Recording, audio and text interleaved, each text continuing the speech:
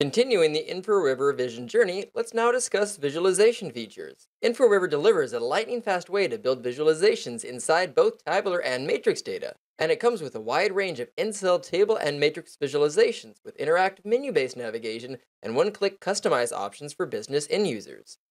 You can see here a great example of a report that's been customized with a lot of different visualizations for quick and easy analysis, with many different chart types present. So let's review what's available in Inforiver and create some of these visuals.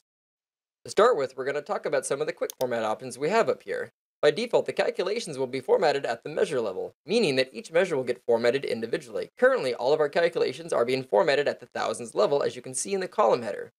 If you change this to uniform, You'll see that that formatting indicator has moved from the column headers now to the header footer at the top, where a universal scale has been applied to all calculations. You also have a few other options in here to automatically format each cell individually, which will move the formatting into the individual cells. Or you can also use the native format that was provided by the measures in the actual dataset. And when you're not using the IBCS templates, you still have access to all of the automatic variance columns that were created. If you come back up to Manage Columns, let's go ahead and turn on the values for Plan and Forecast. I'm going to start by selecting Sales and Forecast column here and come up to Conditional Formatting. And one great visualization tool is the ability to add classification markers. So I'm going to come down here, select this one, and I would like this to show both for values and totals. So I'm going to select that, come down here and delete some of the rules.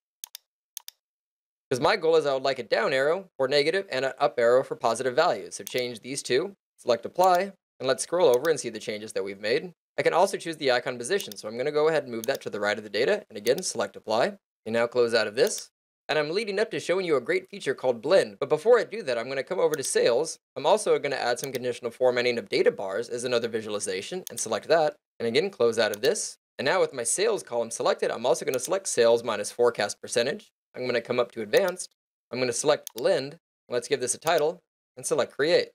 Now what this has done is blended the two columns together, adding the sales value on the top and then the sales and forecast, including the KPI icon on the bottom. Now what's really fantastic is if I come up to the home ribbon and format this value at all, I'm going to actually drop the size down for sales minus forecast percentage, and I'm going to italicize it. You can also see those changes now reflected in the new blend column. Additionally, I can take these two original columns and now hide them since I have a new combined column for blend. And I'll take this and move this over to the far left. And I can even resize it if I want to. Now it's important to note that Blend will take most of the conditional formatting options that you have up here, but it won't take any of the charts themselves if you were to blend those on something where you have added a chart. Now let's actually explore the chart section. I'm going to come to sales minus plan and I'm going to come up here and add a traditional bar chart. And as soon as you add any chart type, you'll have a customized ribbon that will let you further configure it. As an example, we can actually turn on bar overlap, which will increase the size of all of the bars and then overlap the data label. And when you're working with percentage values, such as sales minus plan percentage, those work really well with lollipops. And you can see that that is the only option actually given to display as a chart type for this one. So I'll select that, and again, select a variance.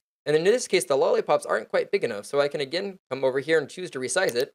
And it'll give you a prompt saying that universal scaling will be disabled, so let's go ahead and select yes for that. And if you come up to customize again, you also have a powerful analytics feature to add to this, which is the ability to customize outliers that fall above or below certain thresholds. Let's actually go ahead and enable an outlier, and I'll put a negative threshold of 15%. Select apply, and there you go. You now have an arrow that can indicate any values that are below that threshold that you set.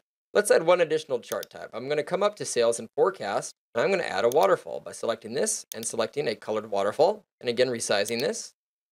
Coming back to the Customize ribbon, one of the waterfall's powerful features is the ability to include a continuous axis that can navigate between parent and child hierarchies. And as you can see now, scrolling all the way down, it's one continuous set between the waterfall for every single value. And one other thing that's important to mention is with any of these visuals, you have an option for axis configuration to show the y-axis if desired. And all of these visuals work very well with the hierarchy controls. If I was to come over and collapse this level, you can see the calculations now calculating and summarized at the subtotal level. But you can also choose to disable that if you need to by coming up to Display, going to Numbers, and choosing where to show the totals for charts. For visual configurations, there's also two other very useful features. One option is the ability to control the row height. If you come up to here, you can increase that, which will help you better see each row for the visualizations. Additionally, if you wanted to configure the width of any of the visual columns, you can come up to Manage Columns, use the Advanced section over here, and then you can set the pixel width for any of the columns here. Another really useful charting feature is the spark line. I'm actually going to select sales, and because I have month and year on my column axis, I'm given an option for the spark line. I'm going to select that, and you can see that we have eight different options for our spark lines. I'm going to do a traditional spark line for line linear here, And one really powerful feature of the Sparkline for analysis is the option to turn on scale bands, which creates four quartile bands. And you can observe the changes here depending on the scale that you have set, if you have individual, by level, or universal. There are also some really valuable comparison visuals if you wanted to compare two sets of values, such as sales and forecast. I'll come up here, and you have six different options when comparing either two values, three values, or a series of other comparison visuals. Let's start by using the IBCS bullet. And this chart can be incredibly useful because it normalizes the goal line and compares everything to either above or below that threshold. Selecting this and coming up to the Customize ribbon, it gives you the option to choose between any of the six different types of two-value comparison charts, plus a lot of other configuration options, whether or not you want to show the marker or even additional variances or targets. Additionally, I can even come and add a third comparison by having the overlapped bar, in this case, set to plan. Similarly, if I wanted to compare three different values with each other, let's do sales, forecast, and plan.